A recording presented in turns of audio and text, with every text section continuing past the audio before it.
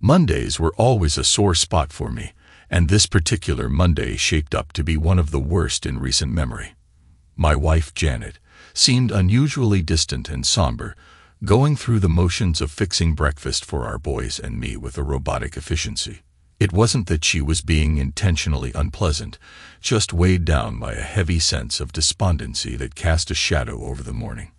I couldn't quite pinpoint the cause of her mood, nor did I feel particularly compelled to pry and ask. As my two sons, Dylan, aged 16, and Nathan, 18, headed off to school, I set out for another day of the freight company, where I had been employed for the past 15 years. Loading and unloading container ships was tough, demanding work, but it provided a steady income. It was a job that resonated with me, perhaps because it brought me as close to the sea as I could realistically get. My true passion lay in sailing the world, exploring distant shores, and meeting new people. But the responsibilities of home and family took precedence, a fact that I accepted with a mixture of contentment and resignation. Despite the allure of my maritime dreams, I cherished the stability and love that define my life at home with my wife and two sons, even if it meant enduring another dreaded Monday. However, the real thorn in my side at work was the people I had to deal with, particularly Andrew Beverly, whose sheer obnoxiousness knew no bounds. He was invariably accompanied by his trio of cohorts from our high school days, Matthew Daniels, Alan Evans, and James Gilmore. I'd never cared for them back then, and my sentiments hadn't softened over the years. Hey, Michael, missed you at the party Saturday night. Andrew's voice cut through the office, signaling the start of what promised to be another unpleasant encounter. Memories of the company party flooded back, the one I had missed because my sons and I had to assist my father in Chester, clearing out my childhood home after my mother's passing six months prior. Janet had been disappointed, but I encouraged her to attend without us. When we returned late Sunday, her nonchalant response about the party had left me feeling uneasy. I met Andrew's gaze with a steely glare, opting for silence instead of engaging in his provocations. But thanks for letting your wife grace us with her presence. She really made the night special, Andrew continued, his words dripping with insincerity, echoed by the laughter of his companions, who seemed to relish their private joke at my expense.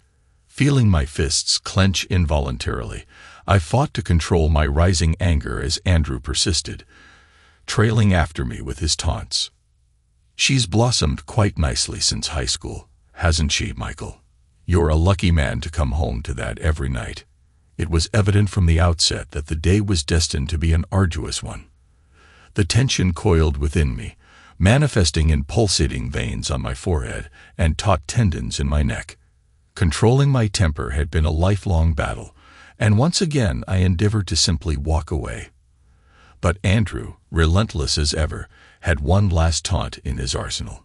With a flick of his hand, he sent something hurtling toward me, a pair of red panties.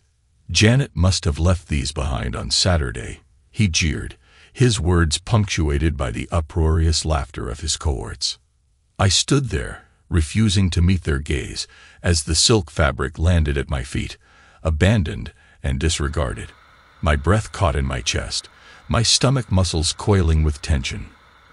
Anger simmered beneath the surface, threatening to erupt like a volcano.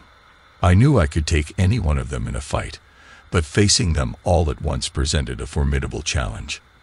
At that moment, however, consequences mattered little to me. I began to advance toward my tormentors when a firm grip seized my shoulder. Paul Rayleigh, the dock foreman, locked eyes with me and wordlessly motioned toward the main office. No words were exchanged as I shot a searing glare at the group, a gaze brimming with a hatred they had never before witnessed. Reluctantly, I followed Paul up the stairs Noting the sudden shift in demeanor among my antagonizers, laughter replaced by apprehension. Inside Denzel Morgan's office, I took a seat across from his secretary, Camilla, as Paul engaged in conversation with his superior. Michael, would you like a cup of coffee? Camilla offered. No, thanks. I'm too upset to hold the cup right now, I replied, my frustration palpable. Through the glass partition, I could observe Paul and Denzel engrossed in what appeared to be a serious conversation. Camilla, were you at the party Saturday night? I inquired, seeking some clarity in the midst of confusion. She simply nodded in affirmation. Can you tell me what the hell happened? I have no idea what's going on. Janet didn't say anything, and I don't know what to do. I pleaded, desperate for answers. I shouldn't say anything, Michael. That's something you should discuss with your wife. Camilla deflected, her gaze shifting to the papers strewn across her desk as if searching for an escape. You were there, Camilla. You saw what happened. Just give me a clue, I pressed, sensing her reluctance to divulge any information. Please, Camilla, I need to know. Reluctantly, she began to speak, her voice tinged with discomfort. Janet arrived at the party looking stunning. Andrew wasted no time plying her with drinks. She seemed to be enjoying herself. Colin would whisper something to his cronies, and they would all share a laugh. Eventually, Janet and Andrew disappeared into the storeroom. Thirty minutes later, Matthew, Alan, and James followed suit. They were gone for an hour before re-emerging, laughing and joking. Janet had a smile on her face, but she looked disheveled, her hair and dress in disarray. She and Andrew left together about ten minutes later. Thanks, Camilla. I appreciate your honesty, even though it's difficult to hear, I said, acknowledging her disclosure. We sat in silence for another ten minutes before Paul emerged, signaling for me to enter Denzel's office. Michael, I'm not pleased with what transpired this morning. Andrew, Alan, Matthew, and James have each been suspended for a week without pay. Additionally, I'm asking you to take a two-week vacation. Paul filled me in on what happened Saturday, and I assume this is news to you. I can't risk anyone ending up in the hospital. I don't hold you responsible for this, but I expect you to resolve things before returning. I'll provide any support you need through this. Now, get out of here, Denzel instructed sternly. I nodded my thanks to Denzel and expressed gratitude to Camilla once more as I left the office. Andrew and his cohorts were conspicuously absent as I made my way to the parking area leaving the offending panties behind on the dock. Instead of heading home, I set off driving northward, seeking solace in a place where I could lose myself. With the road stretching ahead, I had ample time to reflect on the past and the present. Janet and I had been classmates in high school. She was never one to conform to societal standards of beauty, her appearance often described as unpolished and unkempt. Yet it was precisely her nonconformity that drew me to her. Standing tall at six foot three and weighing close to 300 pounds, I was hardly a picture of grace or attractiveness. Socially awkward and lacking in athletic prowess, I found solace in Janet's outsider status, a connection forged by our shared experiences of feeling out of place. Andrew Beverly was the antithesis of me. With his charm, athleticism, and good looks, he embodied everything I wasn't. Despite never having a steady girlfriend, Andrew never lacked for companionship. I loathed him, especially when he boasted about his conquests, seemingly oblivious to the feelings of those involved. Except for Janet. Janet had once tried to catch Andrew's eye, hoping to claim him as her first, but instead of a romantic tryst, she was met with rejection and humiliation.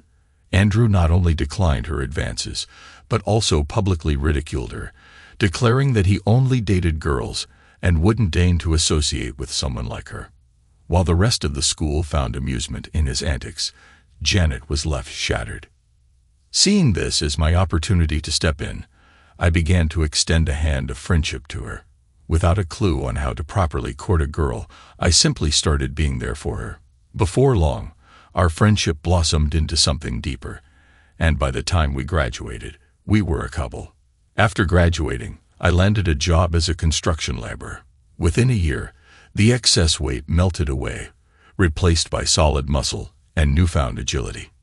It was a relief to shed the label of being the butt of jokes. Janet and I tied the knot shortly after, and before we knew it, Dylan and Nathan came into our lives in quick succession. Janet took to working out at a local gym, undergoing a remarkable transformation. Along the way, She mastered the art of styling her hair, applying makeup just right, and dressing to impress. She looked stunning, and I couldn't help but feel a swell of pride knowing she was my wife. I loved her when she was a diamond in the rough, and now she had blossomed into a true princess. Landing the job at the loading dock marked a turning point for us, propelling our lives in a positive direction until today. As I drove down the A14, which eventually merged into the A1, my destination loomed closer with each passing mile. Thoughts of my two sons filled my mind. They inherited the robust stature of our lineage and were a testament to it. We made sure they stayed active, determined to steer them away from the sedentary lifestyle we once led. Nathan stood a bit taller and leaner than Dylan, who boasted formidable hands and arms. Both were in peak physical condition, equipped to fend for themselves. We instilled in them the values of restraint and empathy, emphasizing the importance of avoiding bullying behavior. Their aspirations aligned with ours. They both harbored dreams of sailing the seas, a passion that seemed to course through our family's veins. I pledged to support them in whatever endeavors they pursued. Janet was the epitome of a devoted mother and an exceptional wife. She managed our household with precision and prudence, never squandering money on frivolities. From my perspective, we shared a blissful married life. As I continued my journey along the M6, the miles ticking away, the shadows lengthened, and I aimed to reach Portpatrick before nightfall. It was a seven-hour drive, but it was the only destination on my mind at that moment. After what felt like an eternity, I finally spotted the sign for the A75 as the sun dipped below the horizon. There was an abundance of parking spaces, a perk of the season. Handing my keys to the bartender, I requested a week-long room rental. I had no luggage, no change of clothes, and no razor, but it didn't matter. He handed me the room key, hanging my car keys in the same spot, and I retreated to a secluded corner with a pint in hand. The amber glow of the streetlight filtered through the bottle glass window, casting a somber atmosphere. It was time to drown my sorrows and escape from reality. Mornings found me awakening in my room, a haze clouding my recollection of the previous night. Often, a local patron would assist me up the stairs, depositing me unceremoniously onto the bed, though I never managed to get under the sheets. I splashed water on my face and occasionally took a shower, although it did little to alleviate the pungent odor clinging to my clothes. The unchecked growth of a fierce beard was a stark reminder of my deteriorating state. Every few days, my credit card was swiped to settle the accumulating tab. I had wallowed in self-pity for far too long, and the realization of my stagnant existence was beginning to weigh heavily on me. I sat there, my gaze fixed on the dartboard, my mind clouded and unfocused. Two figures in uniform entered the pub, but I didn't bother acknowledging them directly. They exchanged words with the bartender, and his nod in my direction signaled their attention. Gesturing towards the keys hanging behind him, I assumed they were looking for me. In a moment of surprising lucidity, I pieced together their purpose without them uttering a word. They made no attempt to engage me in conversation. Instead, they simply filled me up with coffee for the next couple of hours. Michael, Michael Labert, can we have a word with you? One of them finally addressed me. Did I do something wrong? I replied, my voice heavy with resignation. We just need to talk. Are you up for it? The other officer asked. Can we step outside? I requested, seeking the clarity of fresh air.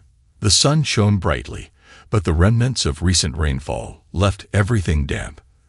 The cobbled street leading to the pub's entrance was slick, and I navigated it cautiously. The incline of the street compounded the sensation of imbalance lingering from my earlier indulgence. Stepping onto the seawall, I welcomed the cool breeze filling my lungs, a refreshing contrast to the stale air inside. Though I didn't smoke, the density of the air indoors felt suffocating.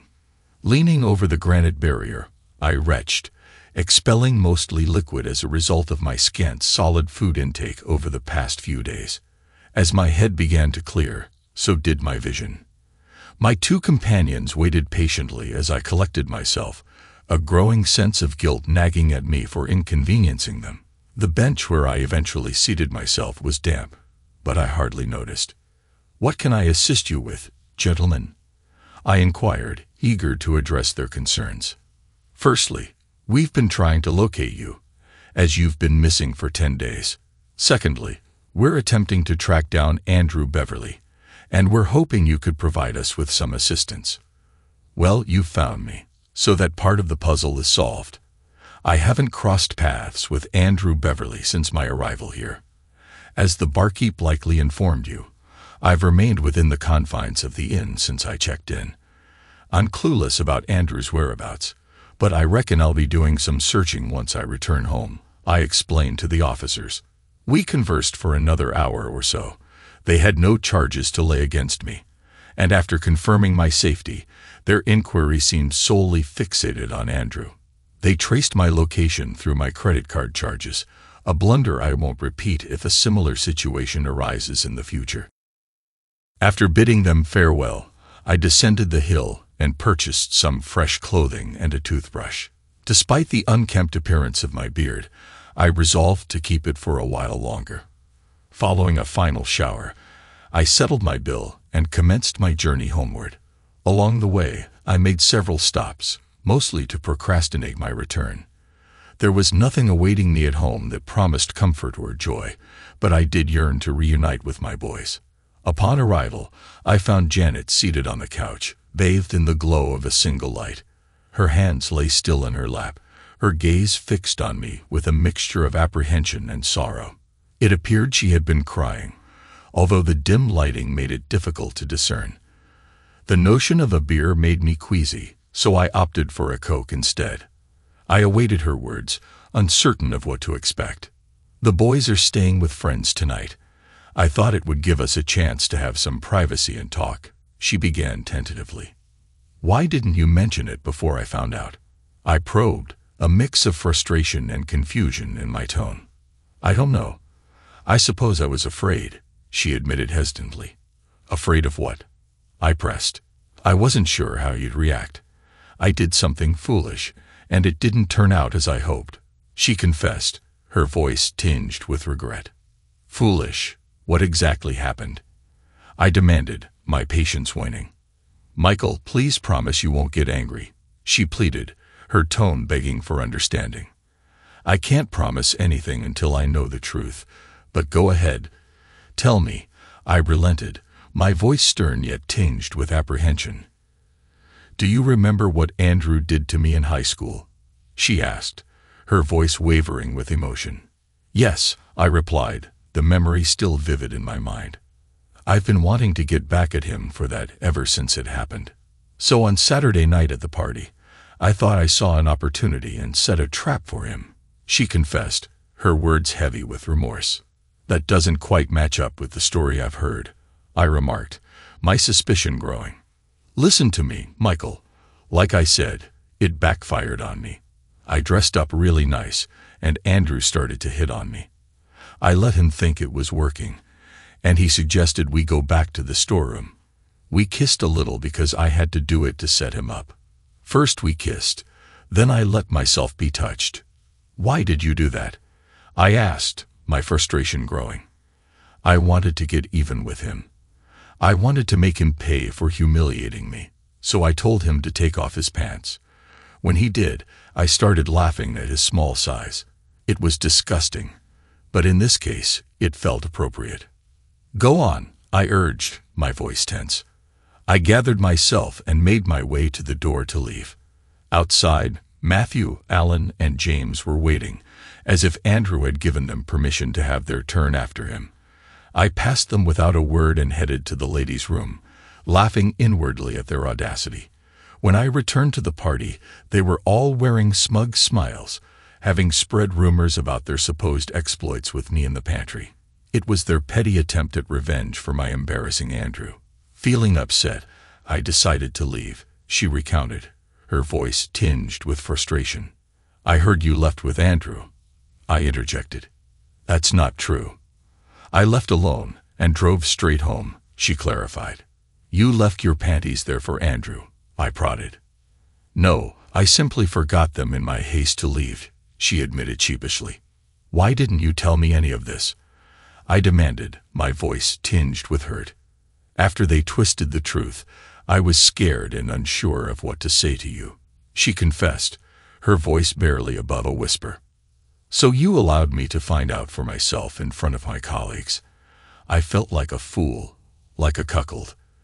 They teased me about what supposedly happened, and I couldn't defend myself because I didn't know the truth. I had to piece together the story from a secretary, and even her version doesn't align perfectly with yours. I lamented, a bitter taste of betrayal lingering in my mouth. She wasn't there. I was. What I told you is what happened. Damn it. Michael, I'm your wife. You're supposed to stick up for me and support me, Janet exclaimed, her voice breaking as tears streamed down her cheeks. She retreated into the kitchen, her sobs echoing softly through the room. I sat there, sipping my Coke, watching as Janet leaned against the formica table, her tears staining its surface. My love for her was unwavering. She was the only woman I had ever truly cared about, but her words felt like a facade, a desperate attempt to salvage our marriage. Camilla had no motive to deceive me. Despite the turmoil brewing within me, I resisted the urge to interrogate Janet about the inconsistencies in her story. Pressing her for the truth would only lead to more anguish, and it wouldn't change what had already transpired. I longed to uncover the truth, but I knew I wouldn't find it from her. So I chose to leave things unresolved, allowing Janet some semblance of peace. After another shower, I climbed into bed beside my wife. She nestled her head against my shoulder, whispering declarations of love, before we both succumbed to sleep. With a few days off before returning to work, I spent time with the boys, who greeted me with a mix of relief and reservation. I suggested a trip to London, which they eagerly accepted. Janet seemed pleased to witness the bonding between the men in her family. During the drive, the boys confessed to being suspended for fighting, a serious offense in our household. Reluctantly, they admitted to facing ridicule about their mother's escapade at the party, leading them to take matters into their own hands. They spared their mother the details but sought clarification from me regarding the events of that night. I deflected their inquiries for the time being, opting to delay the conversation. We made our way to the Maritime and Coast Guard Agency, where I requested three applications, much to the boys' excitement. It took us about an hour to complete all the forms, ensuring we had all the necessary documents, such as birth records and passports. Following brief interviews for each of us, the agency provided medical forms to be filled out by a physician. We decided to treat ourselves to supper at Wagamama before heading home, agreeing to keep our plans discreet, refraining from informing Janet or their friends. The next day, we completed our physicals, leaving us with nothing to do but wait. Despite everything, I still harbored deep affection for Janet. She was the only woman I had ever truly loved, the only one I had ever been with, or even kissed. It was difficult for me to reconcile her actions with the person I thought I knew. I found her behavior reprehensible and unforgivable. Yet, I remained open to the possibility of giving her another chance, provided she could somehow substantiate her claims. However, the odds seemed stacked against her. As the week drew to a close, Janet's behavior took a surprising turn.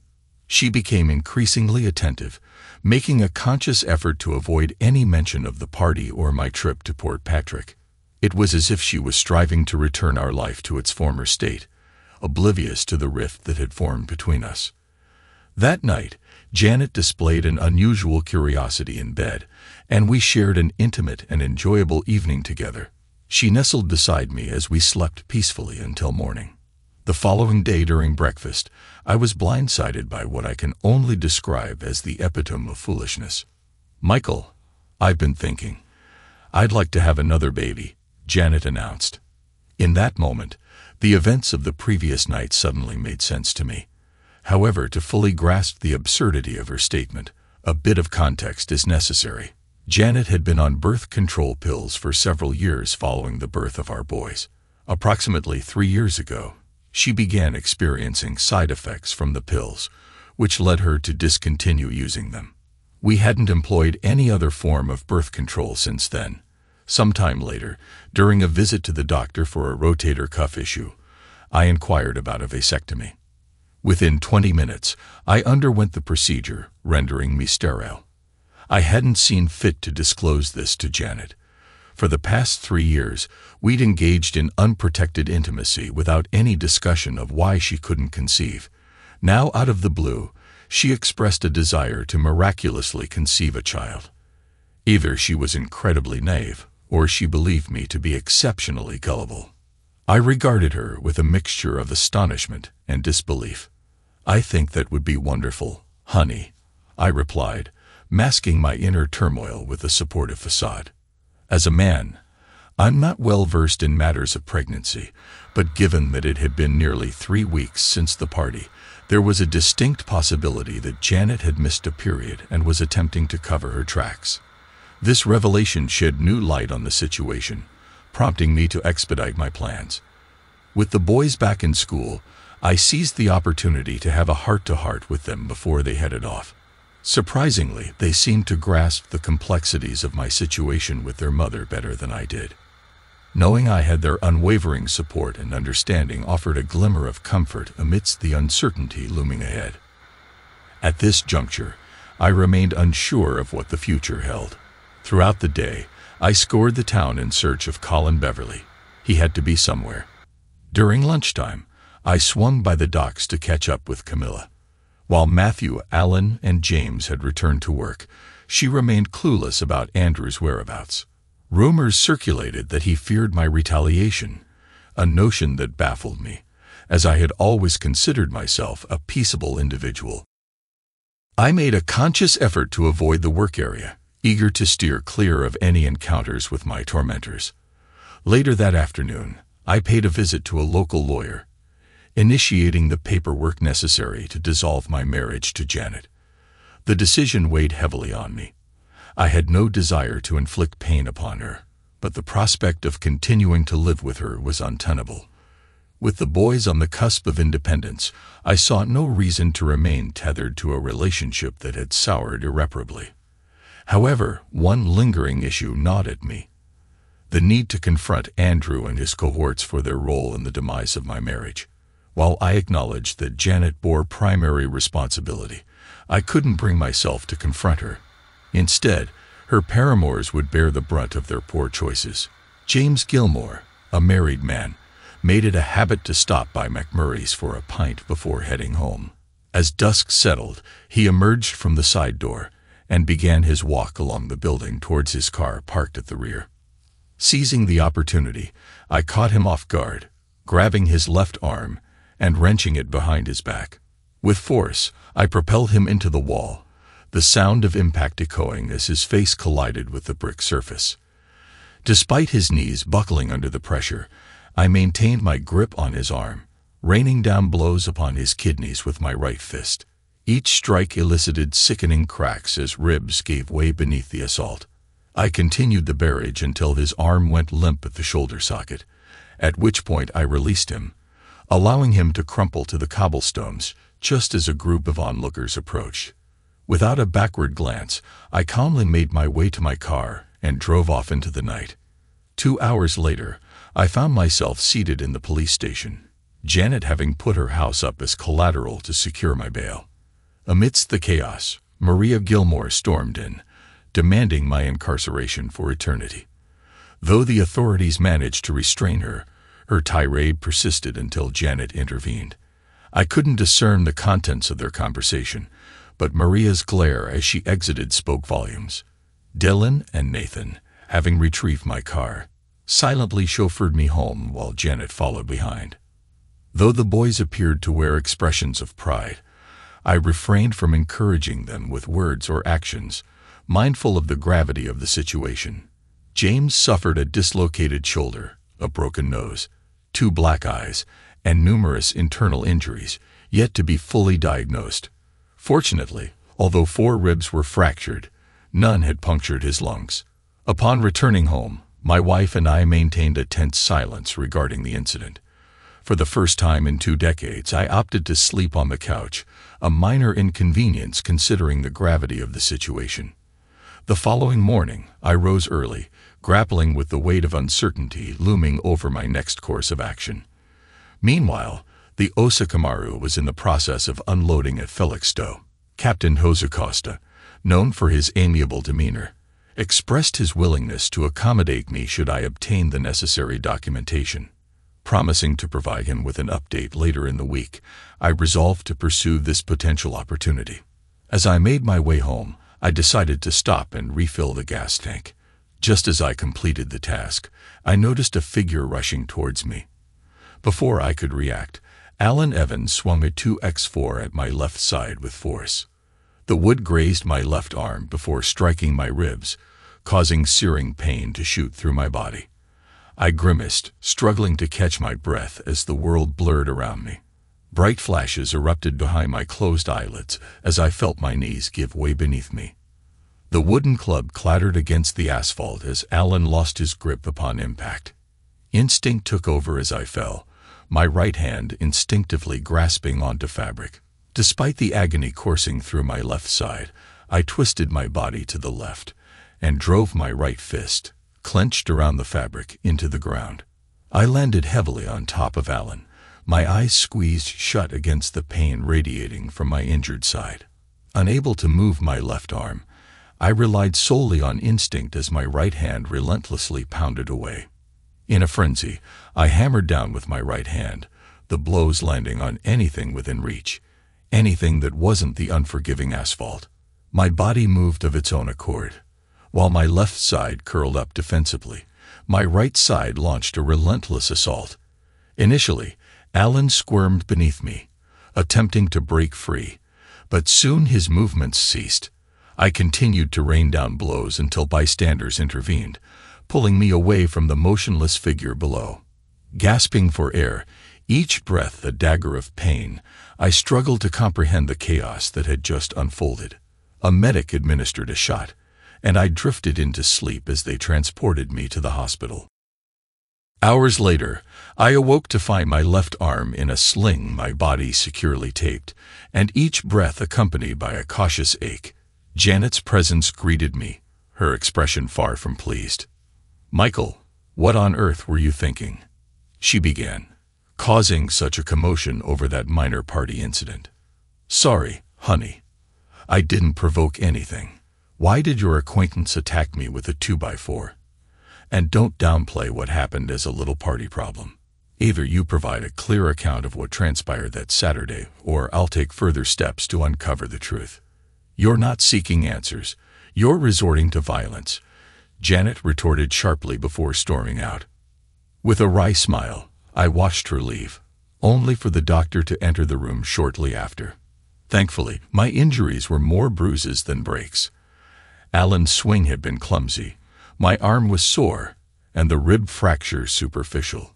The pain and difficulty breathing stemmed from the impact. The following morning, Dylan and Nathan arrived, their grins wide, but I cautioned them to curb their enthusiasm. Alan, however, fared far worse. His injuries would leave him reliant on a straw for sustenance for the next month, and it would be at least a week before the swelling in his face subsided. One stray blow had even fractured his left collarbone. Though in truth, all my strikes had been somewhat haphazard, given the chaotic circumstances. There were no legal repercussions for me, as several witnesses testified that Alan had initiated the attack, I had to call in sick to work again and extend my time off. During a conversation with Camilla, she informed me that Matthew had resigned from his position and his final paycheck was being forwarded to his brother's residence in Aberdeen. Andrew's whereabouts remained unknown. Communication between Janet and me had deteriorated further, and I found myself sleeping on the couch every night. While I quickly recovered from the need for the arm sling, my ribs remained tender. However, I was grateful to regain normal mobility and breathing. With the departure of the Osakamaru looming in four days, I visited my lawyer to ensure the divorce papers were in order. I instructed him to serve them in conjunction with my departure. Everything would be left to Janet, including the house, which the bonding company would reclaim upon my inevitable bail jump. I felt indifferent about the material possessions. In preparation for my departure, I made arrangements with acquaintances in Scotland and dedicated time to the gym to recover from the assault. Denzil Clark reluctantly bid me farewell, agreeing to keep my departure discreet and to look out for my sons if needed. Meanwhile, Janet's neglect of household duties became apparent. The laundry piled up, and the overall upkeep of the house declined. Meals were hastily assembled, and our conversations lacked their former vitality. It seemed as if she was regaining the weight she had previously lost. In a mere four weeks, our world had descended into chaos. The following day, my sons excitedly handed me my maritime papers, their enthusiasm evident, despite my insistence that they wait to make any decisions until completing the current term. It seemed as though they were already set on their course. Returning to the Osakamaru, I attended to all necessary arrangements for our upcoming voyage. The quartermaster provided me with a checklist of items to procure before our departure the following morning. After securing my gear and settling into my onboard quarters, I disembarked for the final time. Dylan had left his Triumph Bonneville 750 parked at the dock's end, ready for my journey to Aberdeen. An eight-hour motorcycle trip is hardly enjoyable. The constant shaking of the Triumph made it impossible to read the odometer, despite the smooth running of the engine and favorable weather conditions. Nonetheless, I was relieved when I finally arrived in Aberdeen. My friends had managed to locate Matthew Daniels and arranged for him to be at the Four Crowns. Access to the men's room at this establishment was through an exterior entrance at the back. After briefly signaling my presence to my companions inside, I positioned myself outside the building, awaiting Matthew's exit. As soon as he emerged, I seized his right arm and forcefully pressed his head against the stone wall of the building as we moved down the alleyway. His face scraped along the rough surface, and he stumbled in pain as I led him roughly about fifty feet before releasing him. His agonized moans mixed with cries of distress echoed in the dim light cast by the street. In the feeble illumination, his right eye socket appeared to be filled with blood, his cheekbone visible below his swollen eye, and his entire face bearing the marks of abrasion. Don't kill me, Michael. Please don't kill me. I'm sorry. I'm sorry, Matthew pleaded, his voice trembling with fear. I had no intention of taking his life, but I saw no reason to reassure him of that. I'll give you a choice, Matthew. Tell me the truth about everything that happened at the party and I'll let you live. Lie to me, and you die. Okay, okay. I'm hurting, Michael, he whimpered. Talk, damn it, and I'll get you a doctor. When Janet came into the party without you, Andrew got all excited. He started bragging about how he was going to get her loaded and sleep with her. She did look good, Michael. Honest. She was all dressed up and looked like she wanted to have fun. Andrew started, and he told us that we could have sloppy seconds. We didn't think he could pull it off. After a bit, he took her back to the storeroom, and we followed him. Are you sure you want to hear this, Michael? Yes, keep going. Ah, but don't hurt me anymore. When he was done, we too went to the room and did the same thing to her. She and Andrew left together, and I think they stopped someplace before he dropped her off. But I don't know for sure. That's it, Michael. I'm sorry. We didn't hurt her honest, and we didn't make her do anything she didn't want to do. I simply stared at him. Do you know where Andrew Beverly is? He shook his head, indicating a negative response. It was clear that he wasn't in a position to deceive me. His narrative aligned much more closely with Camilla's version of events than Janet's. I rapped on the locked pub door exchanged greetings with a couple of old acquaintances, and then headed back to my motorcycle. A few miles down the road, I passed an ambulance racing toward the pub. It was early morning when I parked the Triumph at the spot where I had retrieved it and boarded the Osakamaru. Dylan would retrieve the bike later. My first shift was scheduled for that night, so I spent the remainder of the day recuperating from the grueling journey. That damn motorcycle had really taken its toll on me. In hindsight, I should have opted for the car. I took a shower and grabbed some supper. My supervisor briefed me on my duties and then left me to my own devices. The job was entry-level and fairly straightforward. However, my fellow crewmates seemed less than welcoming. While they would respond to direct inquiries, they offered no assistance or camaraderie. It was evident that they were friendly with each other, but I found myself excluded from their circle. Despite this, I resolved to persevere and hope that things would eventually improve. Janet was likely served with divorce papers that morning, and I imagined Matthew Daniels had already divulged his version of events to the authorities. Meanwhile, my sons seemed to be finding some amusement in the unfolding drama. After my shift, I retired to my bunk. Two days later, I was called to the captain's office unexpectedly. Captain Costa appeared displeased as I stood before him. The Royal Navy has requested permission to land a helicopter on the Osaka Maru to transport you back to the mainland. I received a detailed wire this morning justifying their request. I'll summarize some of the points outlined in the extradition request. If there are any inaccuracies, please clarify. I nodded silently, preparing to hear the summary. They wish to talk to you about the disappearance of a fellow named Andrew Beverly. You have charges against you for the beating of a man named Fred Gilmore so badly that he lost one kidney and might lose the other. You forfeited bail on that charge. You have charges against you for the maiming of a fellow named Alan Evans that was listed as self-defense, but is being changed because of the severity. Finally, on the night you boarded this ship, you beat a man named Matthew Timber in Aberdeen so bad that he lost his right eye. I don't know how the hell you could be here and in Aberdeen at the same time. And I don't want to know. It says here that all this mayhem was done with your bare hands to avenge a personal affront. Do you have any comments, Mr. Labert? Sir, I am sorry for any problems I might have caused you. I mean about the charges. Just that if I could have found Andrew Beverly, he would be in the hospital with the other three. I really don't know where that son of a bitch is. I'll pack my things and get ready for the helicopter when it arrives. Captain Costa just looked at me and smiled. That won't be necessary. I told them you never got aboard. There is no Michael Labert on the Osaka Maru. Now get back to work. After the divorce was finalized, and Janet lost the house due to my departure, I received a wire from my lawyer about the developments back home. Andrew Beverly was hospitalized with severe injuries, courtesy of my sons, Dylan and Nathan, who found him with Janet in our bedroom before the bail bond company reclaimed the property.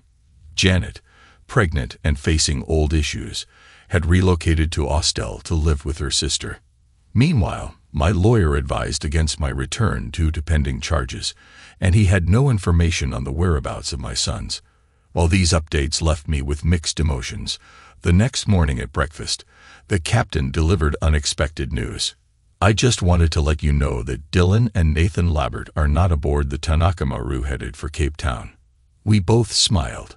It seemed my destiny as a seafarer was finally coming to fruition. Thanks to everyone who took the time to listen to today's stories. If you enjoyed it, please consider liking and subscribing if you haven't already. Feel free to share your thoughts on the events in the comments below. Take care.